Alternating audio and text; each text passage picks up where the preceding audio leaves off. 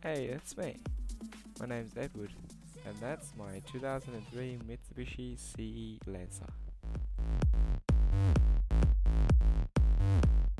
It's red, it has two doors, so it's almost like a Ferrari. The only downside is that it doesn't have aircon, but hey, race car, right? This car is completely stock, except for these red lug nuts that my friend didn't want anymore, and that red valve cap I got off eBay. And this red head unit, and this red stitched Momo gear knob and shifter boot, and this red accented carpet, and last but not least, these red seat covers. On top of that, I've also got some mad LEDs in the footwell as well as under the door.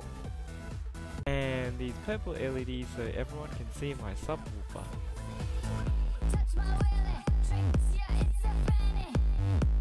Well, how does it drive then, you might ask?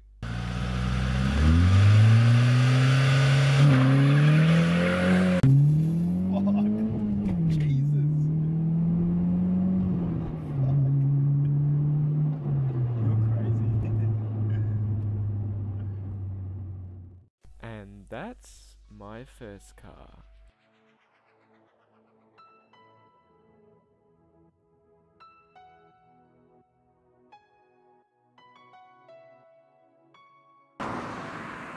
Oh, it's a piece of shit!